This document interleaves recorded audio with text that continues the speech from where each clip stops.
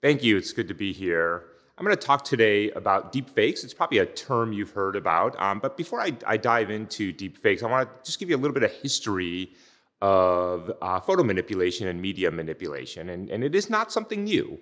Um, and arguably, it's, we've been manipulating images and photographs as long as photography has been around. Stalin, for example, famously airbrushed people out of photos that fell out of favor. Um, but really, starting in the uh, 1990s, we started to see a revolution in digital imaging. And much of that has been driven by digital cameras, ubiquitous computing, and of course, programs like Adobe Photoshop, which have made it easier and easier to alter and manipulate photographs. And so, in this 25 year period, we saw this rise of photo manipulation. Um, and in 2015, we started to be able to do some pretty fun things with photographs like this uh, where, for example, we would swap President Obama and Michelle Obama's face, and relatively straightforward to do this uh, in a program like Photoshop. And we've also started to be able to manipulate videos in the mid 2000s and do things like this. I appreciate the tenor of the conversations. Uh, I think it will actually yield results uh, before the end of the year, and I look forward to continuing this dialogue in the months ahead. Thank you very much, everybody. By around the mid 2000s, we've already started to see photo and video manipulation. In many cases, they were like the two last images and videos that I showed you, which is sort of fun. Um, we wanted to be able to uh, poke fun or have humor or spoof uh, presidents, for example. Um, but since 2015, we've started to see a new age of digital manipulation, and that's what we're going to talk about today so called deepfakes. So if you navigate to the website, thispersondoesnotexist.com, true to the name of that URL, you will be presented with a face of a person, well, who doesn't exist. Uh, so these six people that you see here were completely 100% synthesized by a computer algorithm. They don't exist, and you can see that they cover gender, race, age, facial hair, glasses, and computers can now whole cloth synthesize images and, as I'll show you in a little bit, video of people who don't exist or people doing things that they never did. And this is a bit of a game changer, and that's what we're going to talk about today. So let's talk about how this person does not exist works. So this is a so-called, these are created with a so-called GAN, a, a generative adversarial network. And, and here's the basic workings of how it works. Up in the top, you start with a random image. And when I say random image, I literally mean you drop down a bunch of pixels into a, an image. And that um, goes into a generator. That's the generator's responsibility is to create the image of the person who doesn't exist. And so it takes that image of random pixels and it hands it to a discriminator. And the discriminator has access to images of, well, people, actual people. And the discriminator's job is to ask, can I distinguish that image provided to me from the generator from these images of actual people? And in this case, the answer is, of course, yes. And so it goes back to the generator and says, please try again. And the generator makes modifications to those pixels, sends it back to the discriminator. The discriminator checks again, and it does that millions and millions and millions of times in a very tight loop, very, very rapidly. And this is why it's called a generative adversarial network. Generative because it's making something, adversarial because you're pitting that generator with the discriminator, and network because the underlying mechanism for the generator and the discriminator is a so-called deep neural network. And when you run this simple mechanism in millions and millions of iterations, it will eventually create an image where the discriminator will look at and say, yep, I can't tell that this is not a person. And now you have this person does not exist. Now, we can do something a little bit different with this. We can change identities with the same basic underlying mechanism. So now, let's say I want to change one person's identity in the top left here to another person's identity, uh, let's say Steve Buscemi. So the generator's job is to modify pixels in the face hand that to the discriminator, and the discriminator's job is not, is this a person? The, the discriminator's job is now to ask, is this Steve Buscemi or whoever's identity you want to swap? If the answer is no, it sends it back to the generator. And again, they work in a very tight loop until the generator makes modifications that the discriminator cannot detect. And then when you do that, frame after frame after frame in a video, you get something that looks a little bit like this. I expected Amy to win. So I, I just like it was just I this was this was very truly surprising for me.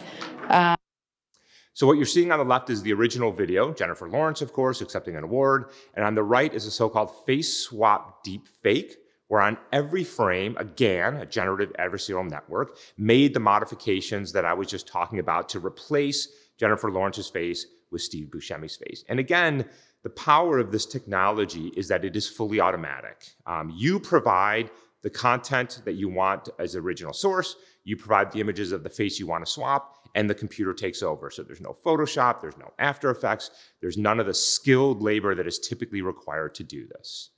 And so let's look at a couple of examples of the things that you might be able to do with this type of face swap deep fakes. She and Obama stole my microphone. They took it to Kenya. They took my microphone to Kenya and they broke it, and now it's broken. And you hear that? It's picking up somebody sniffing here. I think it's her sniffs. So, of course, that's Alec Baldwin on Saturday Night Live. And what we've done is replaced his face with that of President Trump's. And you can now see the power of this technology in the ability to make it look like one person is saying something or doing something they never did. Uh, let me show you just one more example. Listen, America, Donald Trump cannot be president. He would be a disaster, a failure, a complete F. In America, you deserve better than an F. So on November 8th, vote for me, and I promise I will be a stone cold B. So those are called, so-called face swap deepfakes, where you've taken one actor or impersonator and you've replaced one face with another face. And you can see the power of that technology to impersonate a president, a candidate, a CEO, whomever you like. Now, this is a slightly different type of deepfake, and I just want to mention it because we're going to be talking about it a little bit in a, in a little bit. So let's go ahead and watch this, and I'll explain what you're seeing. Now, you see, I would never say these things, at least not in a public address, but someone else would. Someone like Jordan Peele. This is a dangerous time. Moving forward, we need to be more vigilant with what we trust from the internet. Okay, so what you're seeing there is a fully authentic uh, video of President Obama, and but what you're hearing is Jordan Peele. And the manipulation now is not replacing an entire face, but simply synthesizing the mouth to be consistent with a new audio track. And again, this is a very similar type of, the goal is very similar, which is to create a, a, video of a person saying something they never did, but the underlying mechanism is slightly different because we take an original video and modify only the mouth and the, uh, the speech. These are so-called lip sync deepfakes. And so where, where do we worry about this type of technology? Obviously, lots of fun things you can do with it. They're highly humorous and for political commentary, but there's also a darker side to this technology. And where we are seeing the biggest harm today is in the form of non-consensual pornography, taking one person's likeness and inserting it into sexually explicit material and then distributing that on the internet. And that is probably today the, the most common use of deepfake technology, which again is yet another example of the weaponization of technology against women and something that I think we need to get a handle on. Uh, coming up into the 2020 elections here in the US, we are very concerned about misinformation campaigns in all forms. And one of them is in the creation of a video of a candidate saying something inappropriate or offensive and how that might affect an election.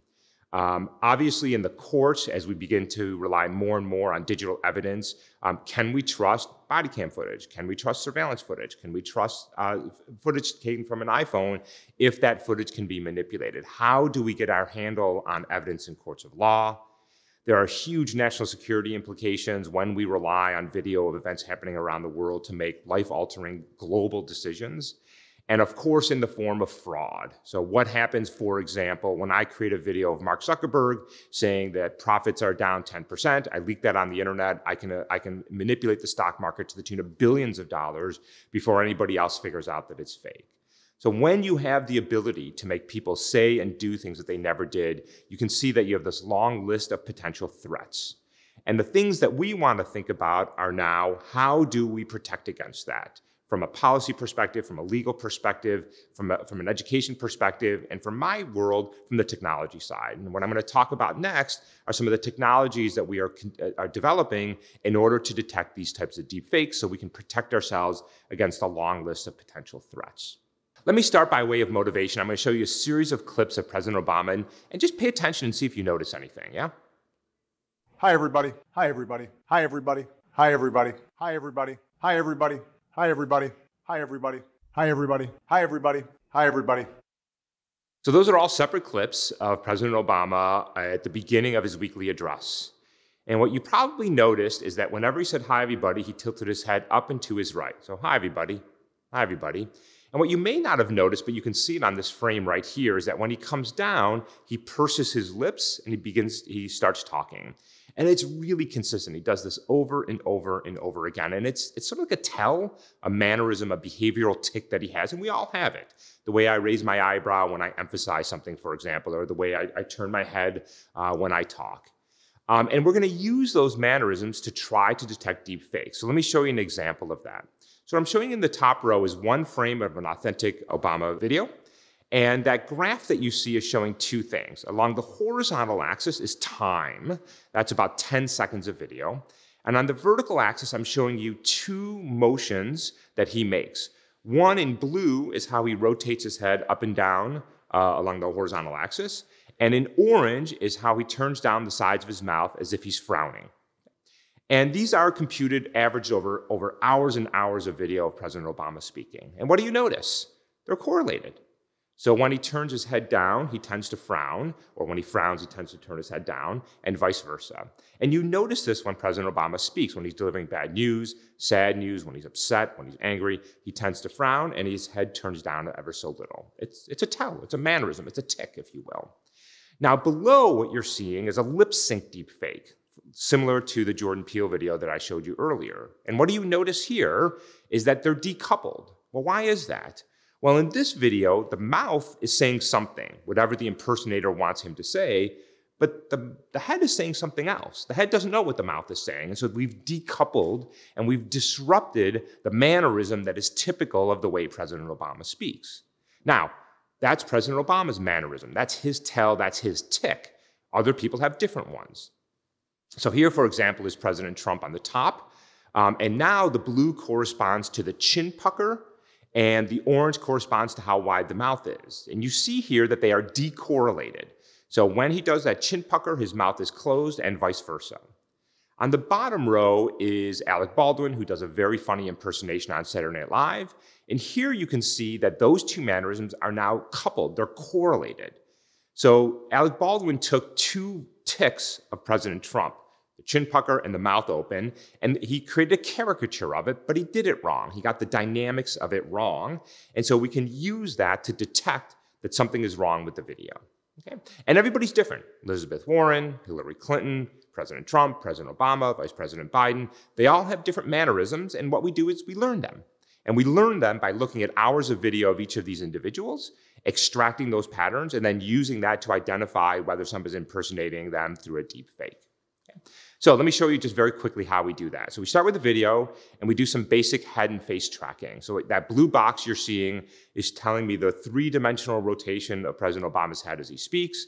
The green lasers coming out of the eyes are telling me where he's looking, and all the dots on the face are tracking his facial expressions. We take all of that information and we extract 190 measurements, which I won't talk in detail about. And now I'm going to project those onto a two-dimensional space just so you can visualize them. So each dot in this, in this uh, graph here is corresponding to a 10-second video clip of uh, Kamala Harris, Hillary Clinton, Elizabeth Warren, Cory Booker, and so on and so forth. These were obviously done at the height of the Democratic uh, primary. And you notice a couple of things. One is everybody's off in their own corner. So all of the Obama videos are distinct from the Trump videos, which are distinct, distinct from the Elizabeth Warren uh, videos. And so what that means is that when we now get a new video, we project it into the space and we simply ask, well, does this have the characteristics of uh, Vice President Biden, Elizabeth Warren, Hillary Clinton, Kamala Harris, and so on and so forth? And then we can detect whether something is a deep fake or an impersonation. So that's one technique that we've developed, and you can see that it's very specific to an individual. Very good for high profile people like candidates, but not so good for, well, people like me, where you don't have hours and hours of video footage where you can measure my various mannerisms. So this is good for doing things like protecting our uh, elections, but not so good for the day-to-day run-of-the-mill uh, people, people like me. So let's talk about another technique that we're developing. So uh, what I'm showing you on this graph, on this figure rather, is a mapping between phonemes, the sounds that you make, and visemes, which is the shape of your mouth. So let's look in the bottom left-hand corner, MBP, mother, brother, parent. Try saying this at home. Try saying mother and notice that your mouth has to close.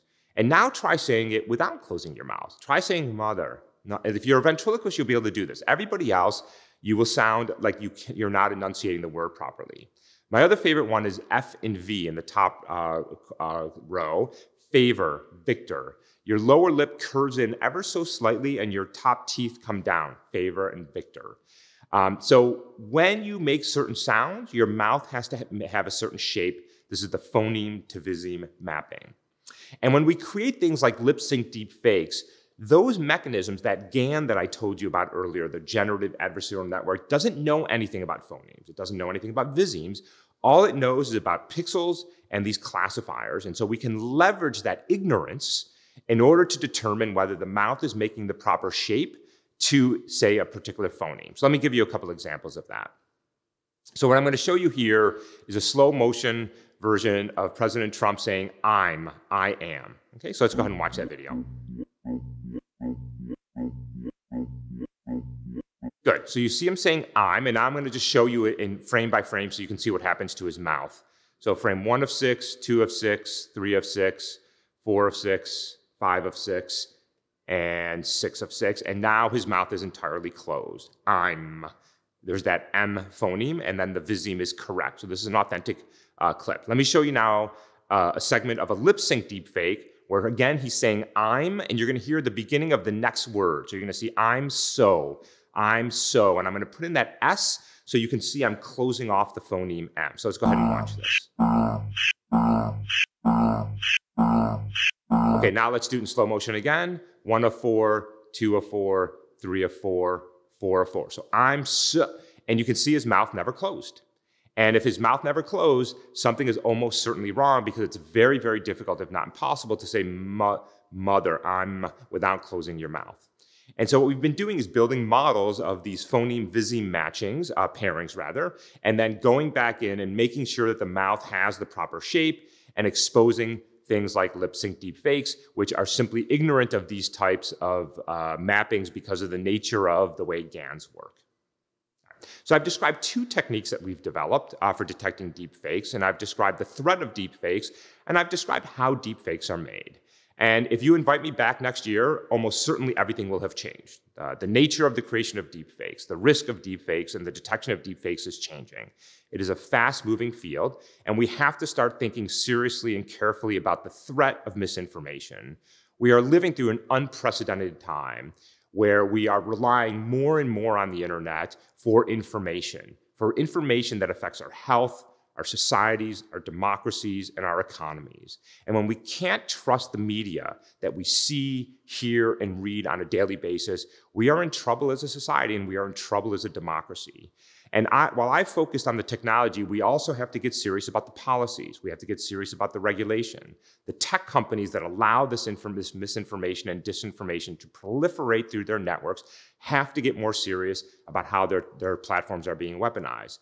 Our regulators have to get more serious about how to get control over mis and disinformation that is designed to sow civil unrest, uh, tear societies apart, and disrupt our democracies. And we have to do all of that, by the way, quickly and with respecting freedom of expression and freedom of speech and a vigorous debate online about people who disagree. And I think that there is a middle ground there, but we have gone too far in one direction where we simply can't trust anymore what we see, hear, and read online. And we need to regain some trust in order to have a sound democracy, society, and economy. Thanks very much, everybody.